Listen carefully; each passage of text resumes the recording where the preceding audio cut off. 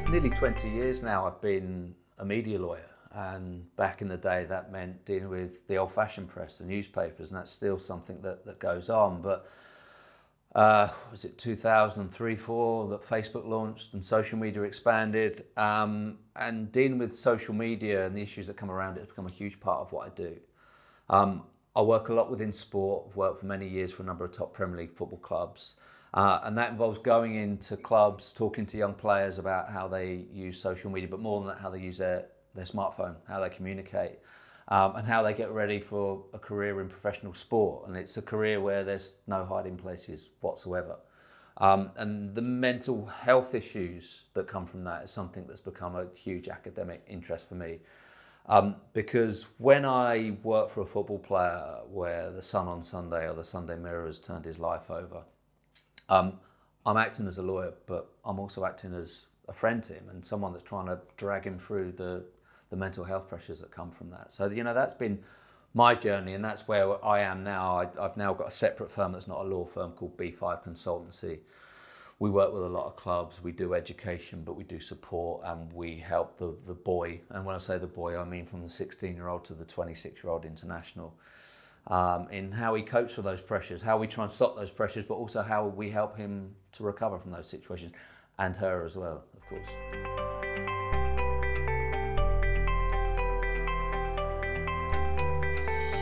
Everyone knows until it happens to them. Um, there are so many problems that can exist and problems that we haven't anticipated. And when we talk about social media and problems for sports people on social media, we think Twitter, Instagram, someone posts something stupid, it goes viral, it ends up in the newspapers. But when I think about social media, it is the way we communicate. Every single person uh, in this country or across the world uses social media. So that means WhatsApp, it means Snapchat, it means TikTok, it means Instagram, it means Twitter, it means iMessage, it means text messaging. It's the way we communicate. We are putting all of our lives online. So if you open up your iPhone, you can track what you've done, you can track what places you've been to. So it controls our lives. We allow it to control our lives. So therefore, we all need to get to grips with it.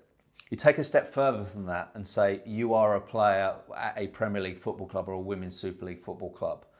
There is an intensity there because people have always been fascinated by football players and people in the public eye and want to know what they're doing privately. So therefore, when you make mistakes as a football player, they are magnified because people are more interested in putting those in the public domain. Screenshot goes viral or ends up in a newspaper. So the problems that can come up are huge. But what then goes beyond that is we have to protect, for example, our security online. One of the big things that we've had to deal with are people having their accounts hacked. When you have your accounts hacked, and God forbid you've got some really private information and photographs on that, that can absolutely change your life. It can impact your mental health. And when you impact your mental health, you affect you as a person, you affect you as a football player. So, you know, that's just a little journey through some of the things that can happen. They are huge and, and, and they happen all the time.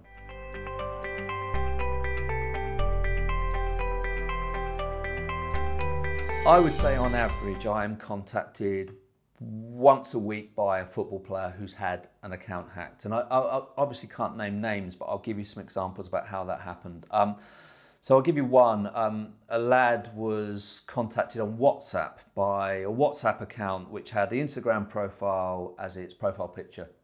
Uh, and it was a Turkish number. And for whatever reason, the lad got this message from Instagram saying, click on this link to reset your account because it's going to be closed down. And he believed it. He believed it was genuinely from Instagram and he put his account details in when he clicked on this link. Now, ordinarily, that would mean that the uh, the hacker, because it was a hacker, would have had access to his Instagram account. But luckily, he'd been sat in one of our education sessions, um, which meant that he turned on two-factor authentication on the account, which means the hacker needed an extra layer of security, which was actually a text message to the lad's number to get into the Instagram account. So that sounds like danger over, all fine. But the problem is, this lad, like so many people out there, use the same password on all his accounts, including his Yahoo email, which was the email that he used on his Instagram. So he's given these hackers his Yahoo email address and the password he uses on Instagram and Yahoo. So the hackers don't get into Instagram. What do they do? They get into his Yahoo. And what can they do on that? They got into his eBay account and they started making bids on stuff that they could then get sent to them in Turkey. Uh, they accessed his Amazon account. They accessed his Twitter account and reset that. They locked him out of his Twitter account. He couldn't get back in it. This was a Twitter account with a blue tick. They started sending direct messages to people that he'd been contacting on, on uh, Twitter, some of whom were female, some of whom were not his girlfriend. So you can imagine the situation this poor lad, he's about 21, 22 years of age. He's making his, his, uh, his way through the championship. He's having a good career in football. And all of a sudden, his personal life flipped, absolutely flipped on its head. Um, and he's concerned, he's worried, he's not sleeping. And I don't need to tell anyone how that impacts you as a human being and then how that impacts you as a football player.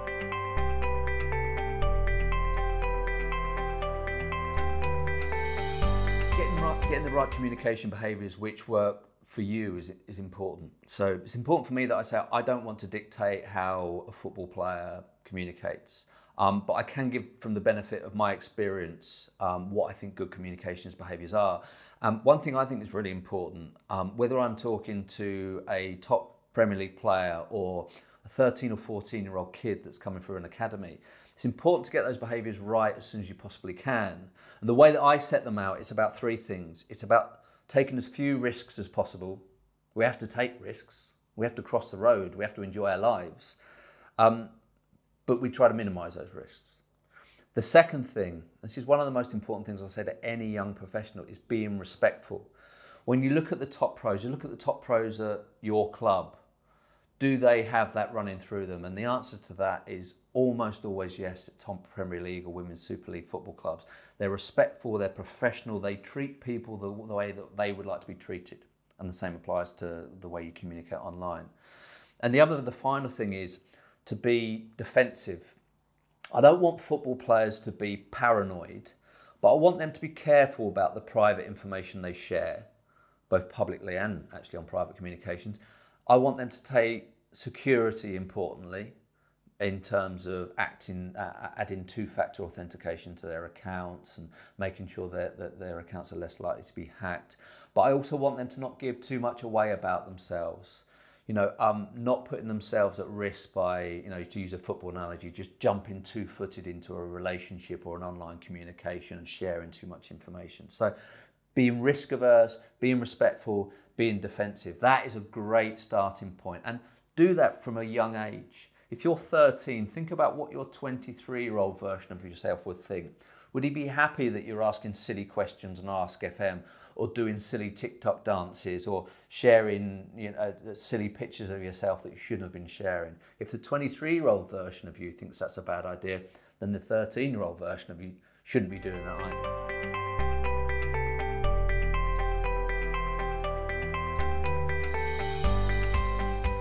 So there's a balance in your communication behaviours, and you have to get what's right for you.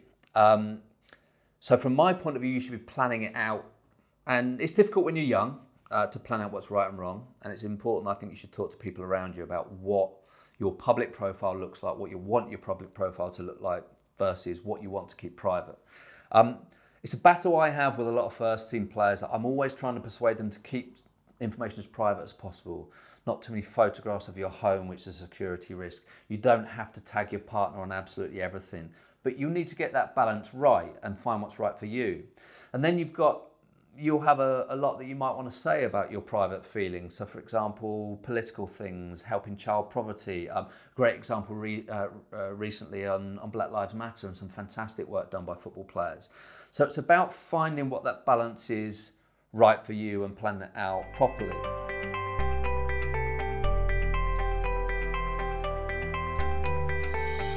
I'll give you I'll give you a, a, particular example actually, and I won't name the player because I don't think it's fair to, to, to name the player on this one, but but he did this particularly well. He was a young player. He played UEFA Youth League matches, and they played in Eastern Europe. He was a young uh, black player, and he was racially abused out there. Um, it was a very important political topic for him to deal with, and he wanted to deal with it in a really sensitive way. He didn't want to just rush onto Twitter. Um, and and express express his displeasure on it because he knew that there were some political sensitivities there. He didn't want to be tarring the whole of one Eastern European country with, with, with that brush, and rightly so. But he wanted to make a stand because it's an important stand to make. So he came back to England, he sat with the club and he sat with his agent. He says, How do I express this in a way that gets across not to just young black and mixed race people, but to people of all generations, to people in that Eastern European country as well?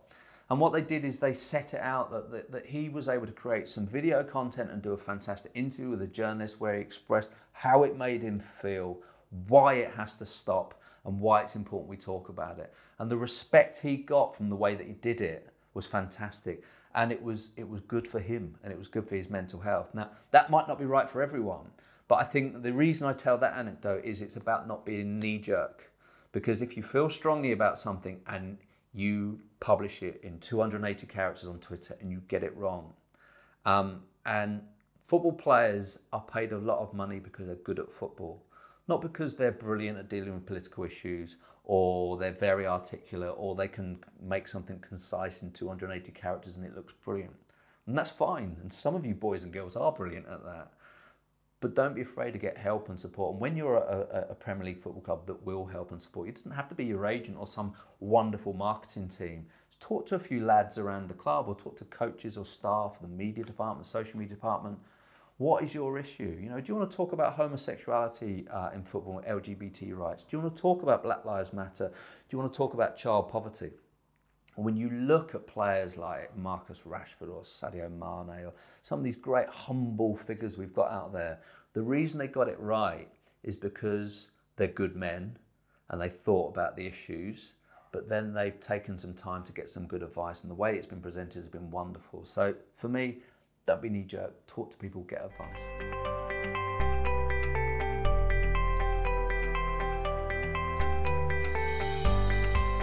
One of the things that's really important for a football player to come to terms with is, um, is how other people see you.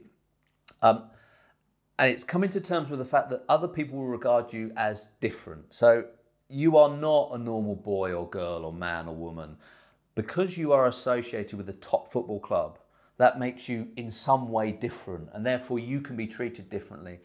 And I'll give you an example on that. It was a conversation I had with a, a top Premier League player. He'd been the victim of someone who tried to sell a story to a newspaper about him. And he said to me this, he said, why do people do this to people like me? And, and the best answer I could give was, people don't really see you as a normal human being because you're not in a way. And people see you as almost like a character from a soap opera. You appear up there on Sky Sports every day on the on the ticker during Sky Sports News on the week and playing on the weekends and, and midweek games.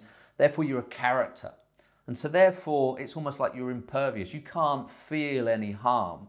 So you can be attacked in the media or you can be attacked on social media, and there will be this assumption he'll be okay. He earns 100, 200, 300 grand a week. Don't worry about him. I can abuse him. I can sell his private information. Now, none of that is right and fair so you are in an industry, the football industry, uh, that people will not treat you as fairly as they would treat their next door neighbour.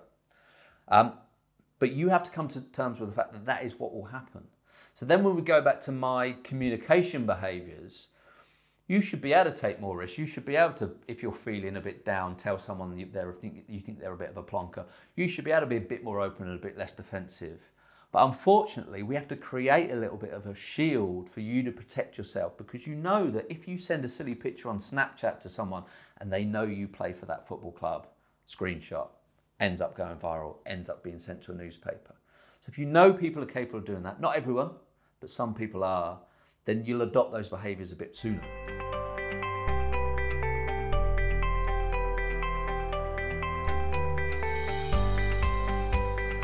One thing I'm really keen to get across is that you know, 99% of the world are good and will treat you well.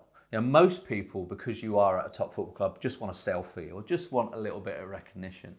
But there will be that one person that you shared a direct message conversation, slid into your DMs, and you shouldn't have interacted with this person, who takes a screenshot and then it goes viral. Um, then you become that footballer that, that made that mistake. It doesn't matter that 99% of your life has been you doing good things, charity work, playing football uh, well, working hard.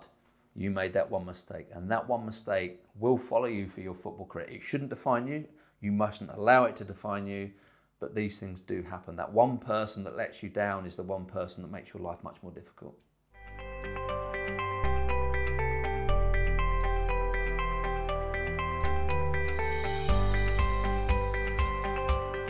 It's really, really important from my point of view that um, it's not just about drawing up a strategy of how you communicate, so those good behaviors. It's also about drawing up a strategy about how you cope with social media and the mental health impacts of social media. Now, the reason I say that is um, there's a lot of people out there will say, well, you can put social media to one side it's not the real world. Worry about the real world. Well, that's not actually true. Social media is the real world, it is a part of our, our real world. So, just as if things go wrong off the pitch in your personal relationships, for example, that will impact your mental health, therefore, it'll impact you as a human, therefore, it'll impact your performance on the pitch. Exactly the same thing applies to your social media. So you need to work out some coping mechanisms about the way it works for you. So that might be technical things like are you going to mute certain words? Are you going to set your Twitter account up in a certain way that you can't get replies? Or uh, on Instagram, are you not going to allow replies? Or are you going to allow your agent or marketing uh, agency, or you know, if you're a, a, younger player with not that earning potential, are you going to let your brother or your sister or your mum or your dad take control for certain points? Are we not going to check it as soon as we get off the pitch and look at all of our mentions, whether we play well or whether we play good? Um, and that's an important point, by the way. Um, your career, doesn't matter where you are currently, sitting right in front of me, is going to go like that. It's going to go up, it's going to go down.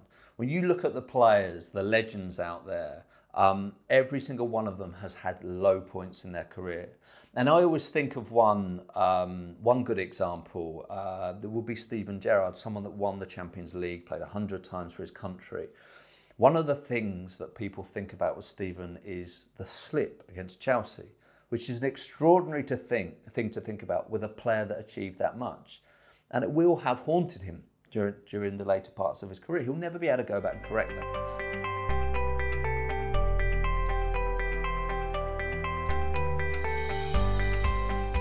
Your career will have highs and lows. It doesn't matter what level you're at now. Um, and from my point of view, it's it's important, particularly when it relates to social media, to treat the highs and the lows exactly the same. And what I mean by that is to discount them. Uh, I actually had a very good conversation recently with a, an academy player, a young player who went through a top academy, played a few first team games, and now he's playing in the lower leagues. When he was at that high of playing a few first team games in the Premier League, he said to me, I drowned out the noise. Everyone was saying I'm the next this player, I'm the next that player. And it was important for me to not get too excited by that. My followers went up to 100,000, I was getting likes, I was getting retweets, but I tried to drown that out. And the reason I did is because I knew I might end up where I am now. And I'm playing in League One. And I've had injuries and things have been bad. Someone even set up a Twitter account in this lad's name, uh, criticising him for being constantly injured. And you can imagine the lows of that point. So it helped him to drown out the negatives because he'd already drowned out the positives. And for me, this is about an inner self belief. There is nothing like a career in sport because someone doesn't come into my office and look over my shoulder when I'm drafting an email and look and say, That is a rubbish email, mate. You are useless. But that does happen in football. You will be judged time and time again. And the, the place you'll see that judgment the most is social media. Um, when people are saying you're brilliant, you need to be able to drown that out just as much as when people are saying you're terrible. If I can take that to an academy point of view, it's one thing I worry for young professionals. So if you sign a pro contract with a big Premier League club, you will become a very wealthy young man. Um, at that point, there is a danger to get caught up in, the, in what might be perceived as the footballer lifestyle. So sharing pictures of your Yeezys or Balenciagas or your expensive purchases, things that you know the background you came from, you wouldn't have been able to afford that. And there's a bit of a danger of getting too caught up in that, in the likes and the retweets and the comments and the girls and the boys putting hearts on you and saying how great you look. If you allow yourself to get too caught up in that, you start committing yourself to a lifestyle that when you're playing in National League South in a few years' time, which could happen, still a good career by the way, um, you might find yourself really feeling the lows because you enjoyed the highs too much. And I think if mentally you can balance out how you enjoy social media, then that's a good challenge. The other thing I want to say about social media and how you balance how it makes you feel is um, for me, social media, it's a public forum for a football player. It's about, it's an outlet. So it's about you doing work with a club work with sponsors when you're at that stage of your career, um, talking about charitable causes. It's about putting information out there. What I don't want it to be for young and older football players is an inlet. If you're going on social media because you want someone to say, wow, you're a sick footballer, or whatever the, the people would say on social media, you're looking at the wrong places to find that. Your inner belief must be on you. I know I play well, or I know I play badly, or your coach, or the people around you that really know you as a football player. If you're using social media as a grading point for how your career is going, you're looking in the wrong place. Because we know social media is full of fakes, you know, both people who act in a fake way or actual fakes, actual robots. So you're looking in the wrong place and you will get a confused perception of who you are as a football player. That is not healthy. Social media is an outlet, it's not an inlet.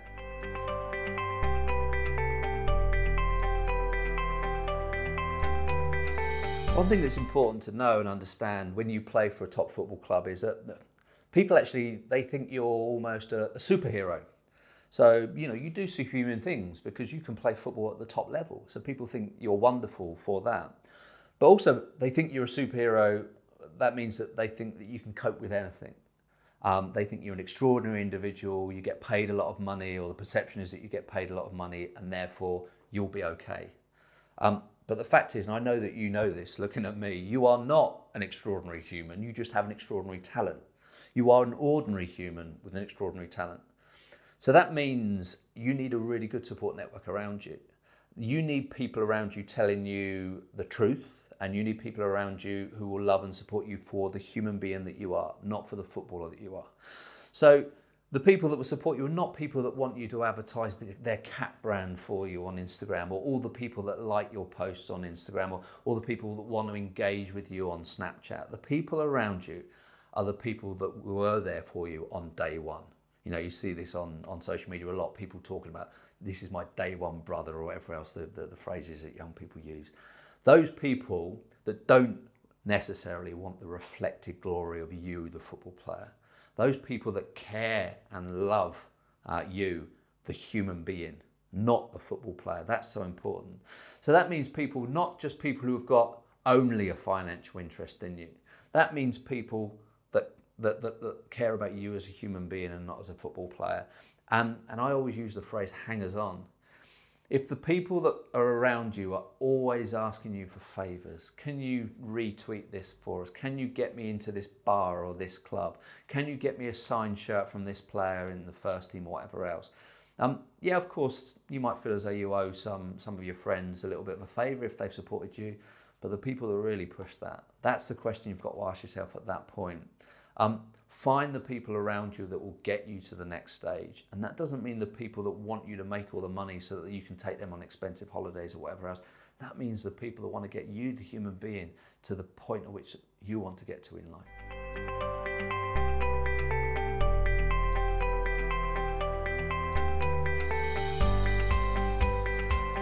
Well, I think in terms of what you should share and what you shouldn't share, I divide it into two forms of social media. So there's the first form, which I'd regard as, or guess what you might call private social media, or at least what people regard as private social media. So um, a lot of uh, young sportsmen and women regard, for example, Snapchat as a private social media. And the idea of the platform is that your photos, your messages disappear. And I think it's really important that when you're using private social media, um, for me, I would start adopting the behaviour if you're a football player that um, everything you share has a very good chance of becoming public. You know, there are lots of screen sharing apps that allow people to download your snaps. Um, I know that because it's my job to deal with that, and I and the amount of times I've seen newspapers publish private social media from Snapchat, etc. I've lost count. So you should treat your private social media as though it's likely to become public, and then you'll start adopting those good behaviours, being risk averse, respectful, and defensive. You know, if your Snapchat story every day is something you wouldn't dream of putting on Instagram, then question yourself, why are you doing it? And that's for me really, really important. Um, and then you've got your public social media. What do you want your public profile to be? And how much private information do you want to share? So, as I've said, it's an outlet. It's about letting the general public know what you are about as an individual, and what you want them to know. And there's a few things I'd say. You make your own choice, and you might disagree with me on this, but I would say I worry sometimes, particularly young boys and girls who share um, their girlfriends or their boyfriends' Instagram handle all the time, go away on a fancy holiday and tag their girlfriend on it. You know, that might be uh, that, that, your girlfriend or your boyfriend might end up becoming your husband, your wife, your love of your life. You'll be with them forever. But imagine that relationship then falls down. You've then got to go. It's an awful thing to have to do. Go through your Instagram account and delete all of those photographs and untag your girlfriend or your boyfriend. Or, you know, God forbid you make a mistake in your personal life. Someone goes on your Instagram account and then starts direct messaging your girlfriend and making hell with your private life. Um, from my point of view, you can rail back a little bit. You don't have to show your girlfriend or your boyfriend you love them by tagging them every five seconds on Instagram. Um, you also don't have to share pictures of your kids or your nieces, your nephews. Um, you might feel that that is the right opportunity for you to show what a family man or a family woman you are, and that's fine. But think about the implications as well. Everyone can see your Instagram, okay? And that means all the lovely people out there, but it also means the slightly unpleasant people out there as well just think about what the balance is for you. Find that balance. If you think I'm wrong, if you think all your private life should be on there, fine. But think about it before you reach that reason.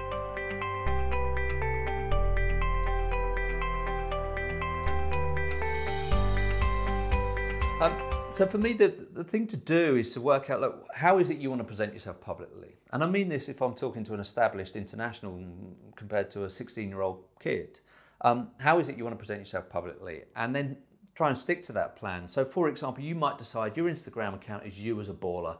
So it's you about doing uh, deals with your boot sponsor, doing stuff about the club, and doing new training.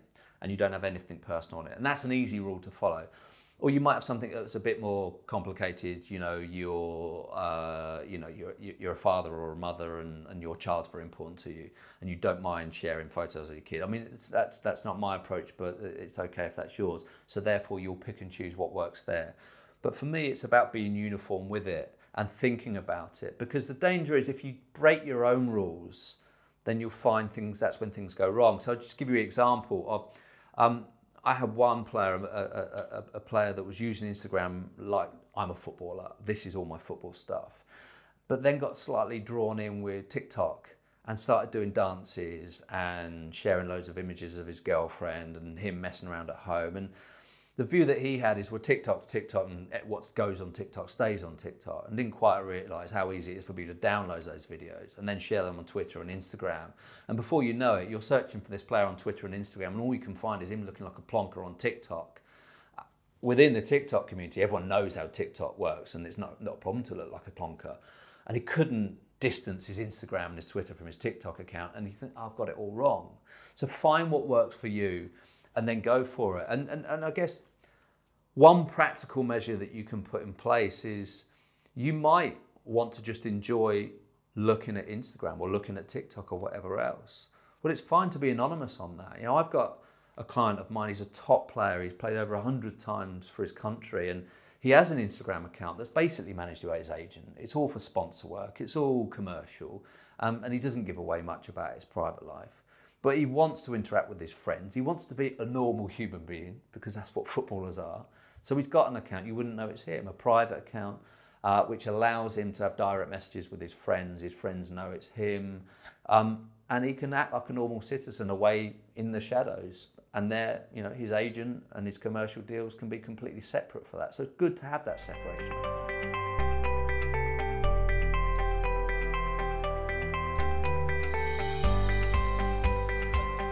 One thing I think is really important that we think about in terms of particularly public social media, Twitter, Instagram, Facebook to an extent, is um, different people have different views on everything. Um, if you are going to tackle a subject which is a sensitive subject, whether it be about racism, about poverty, about politics, you need to be 100% sure you know what you're talking about and you also know the consequences of talking about it.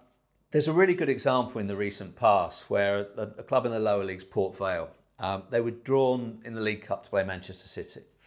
Uh, one of their players, Tom Pope, had been pretty prolific on social media in the past, and one of his old tweets was to criticise the, the Man City defender John Stones. I think he said something along the lines of, "I'd love to play against Stones every week. I'd score lots of goals." So of course, football fans love that kind of banter. It went viral.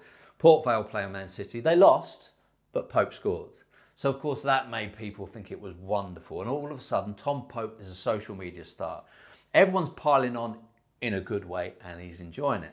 Everyone wants to know Tom Pope's view on everything.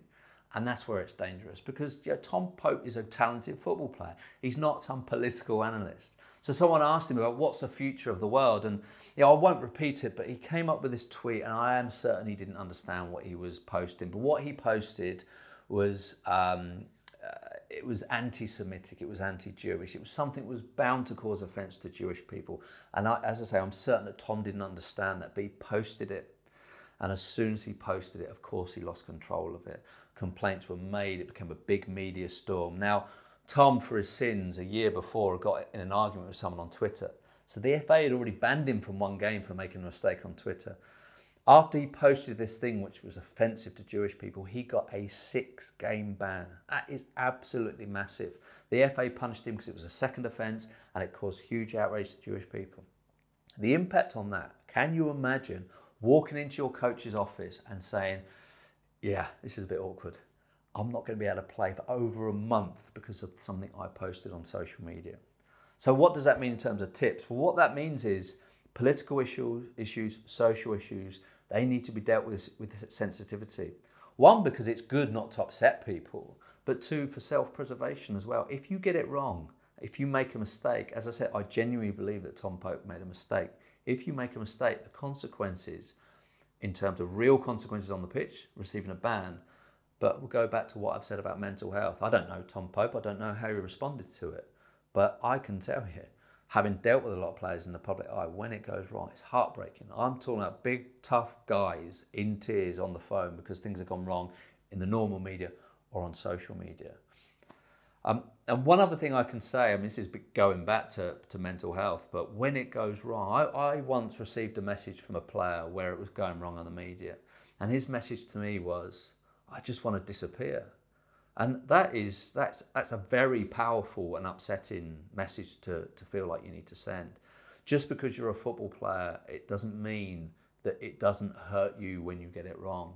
And I guess that's what we want to guard against is making those kind of mistakes that put you in that hurt zone.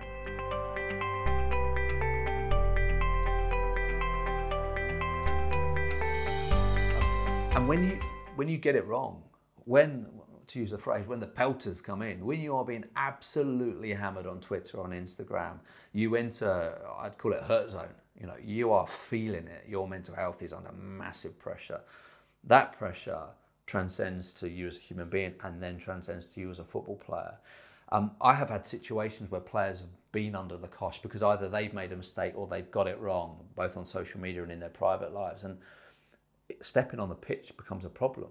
And of course, if you don't step on the pitch when you're in a media storm, that adds to the media storm because player makes mistake on social media or player makes mistake in the media, doesn't play, we've got more headlines and more things going viral. So it can become a little circle of hurt and that genuinely impacts your football career. And that's what we're trying to get you, you to avoid.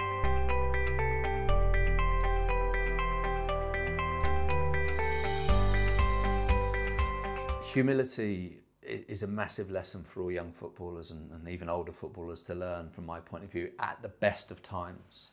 Um, I see far too much of players exploiting wealth. Um, but we've had a bit of a change actually. Society changed in 2020 when we had the COVID 19 uh, crisis. Um, and we saw a move towards, well, I guess, the Rashfords, and there's loads of players that have done great work in terms of giving back to communities. And I do feel as though we're moving away from what I'd call the Zlatan effect, with all due respect to that wonderful football player. This idea of saying, I am Zlatan, I am God, doesn't seem to be an aspiration as much anymore because we see the way that young lads like Marcus Rashford have behaved and the way the public have behaved to that in these difficult times. For me, that's the aspiration. Not your fancy boots, not your flash cars, not your I was here and now I'm really wealthy. We don't want to see that from football players. The public don't want to see that. The people that you've supposedly left behind who have not got that money don't want to see your wealth. They want to see your humility. And when we have situations where, well, Black Lives Matters fighting back against inequality, when we see COVID 19, people losing jobs, people losing loved ones, people worried about getting ill, we really don't want to see footballers and their wealth. We want to see footballers working hard and giving back. And I know from working within the game how hard footballers work and how much they give back. And we want to see that. We don't want to see necessarily over shouting it, being too pleased with yourself, patting yourself on the back, but we do want to see that footballers are socially responsible. And there was a moment in 2020 at the beginning of the crisis where the government said footballers should do more. And then, as the crisis went on, the public started to see politicians aren't doing enough. Footballers are doing their fair share. And that made my heart swell from working with young footballers who come from tough backgrounds and give back. And for me, that was really aspirational for all football players. Um, be like your peers, be like these brilliant footballers who have given so much, their, so much back to their communities.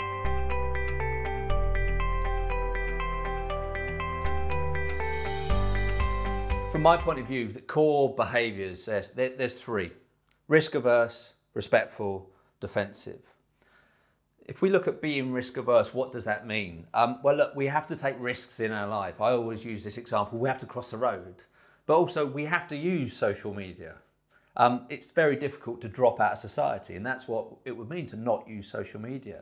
But what being risk averse means is not getting into situations which are, which are too risky and are not worth the risk taking.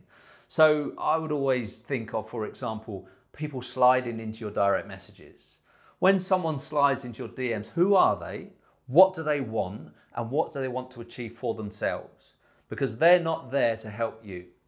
They might be there to try and get you to advertise their brand. They might be there to try and persuade you to share information about yourself that you shouldn't share so that they can post it on social media or whatever else. They might be a hacker, a blackmailer. There is a lot of criminality on the internet, and that a lot of that comes through Instagram and Snapchat. And if you are a football player, you are more likely to have someone slide into your DMs than you're a normal member of the public. It's a simple fact of life. That might be fun, but as long as you are thinking, what are the risks here? What am I risking? How badly could this go wrong? How will it affect my reputation? How will it affect my mental health? And if you think that every time someone contacts you, then you'll take a hell of a lot less risks. And you're less likely to need someone like me or the support of the club or the support of your agent because it's less likely to go wrong.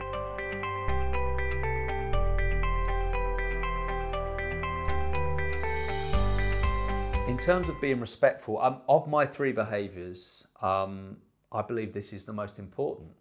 When I think about the top professionals I've worked with in all sports, and both men's and women's sports, I think of people who are professional, uh, act in a way which is kind. They think about the people that they deal with on a daily basis and they treat those people in a way that they would want to be treated. And I think of top professional football players, the, the people that I really admire, they are the people that when they walk into a hotel and they go to check in, they talk to the person at check in, they ask them how they are. Um, and the amount of times when you do that, it blows the person away. And they will walk through the rest of their day saying, This player from this football club came in, wow, he or she was so nice, and what a great uh, impact that had on me. Now, the reason to be respectful is because it's a good thing to do, but also because it helps you. So if you use WhatsApp in a respectful way, if you are not hammering everyone or being rude to people or sharing photographs of people that they didn't want to be shared, if you are being respectful, if you are saying thank you, to a, a, a, member of staff at the club that's helped you or someone in the agency that you work with that's helped you out, um, you're setting yourself on the right path because you are leaving people with a glow about the way that you, uh, you behave. And they will tell anyone that, that will listen, oh, I had, to, I had to help out this player the other day. What a nice person that person was. And that makes a massive positive impact on your career. But also, if you flip that on its head, what if you are a plonker? What if you are disrespectful? At what point is someone going to say enough's enough? Screenshot, put it on Twitter, put it on Instagram, or try and blackmail you, or go to a newspaper. If you are a bad person, I genuinely believe this, you will give yourself a much worse chance of succeeding in professional football. I genuinely believe the men and women at the top of the game in football, the vast majority of them are good human beings, and that's why they are there.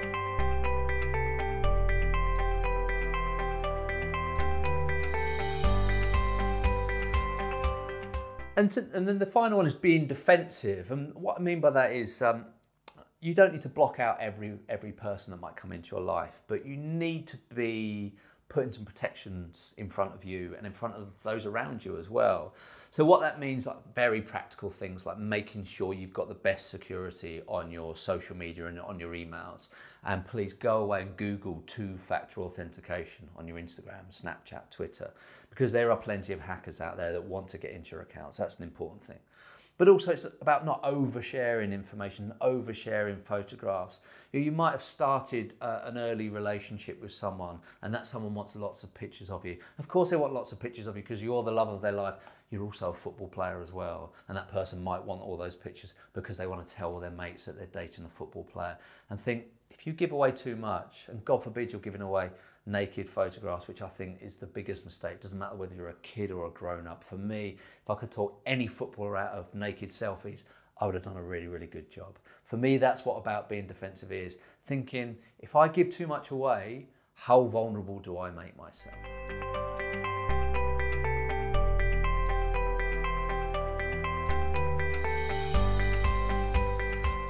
I think one, one thing that's particularly important is if things go wrong online, get help immediately. Um, nothing is irredeemable. If something goes wrong online, it will not be the end of your life or your career. So it's really important that you don't think things are catastrophic. Get help as soon as you can. Talk to people. Um, you might think something's really minor, but if it's troubling you, talk to people. Um, you're within a football club where the support you get is fantastic. So develop those relationships early on so you've got people to talk to. And then when something's going wrong, or you're worried about something, or you think something could go wrong in the future, talk to people, get help, get support. Um, and one thing I really want to say is nothing is irredeemable. Um, something you, you might watch this video and then in the future you might make one of the exact mistakes that I talk about. And I'll tell you, you would have no judgment from me if that does happen.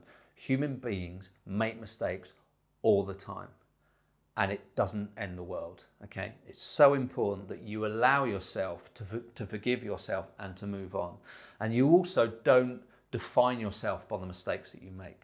So you might make a decent sized mistake in your career. It might cause you huge heartache. It might damage your reputation. It might hang around on your Wikipedia page forever. And that's horrible and it's difficult to come to terms with. But the most important part of it will be the recovery. This, uh, you saying to yourself, I will not define myself by that mistake that I made. I worked hard. I was a good person. The people that know me know me know what a good person I am, and that is what defines me. How hard I worked, what a good person I was, not that mistake.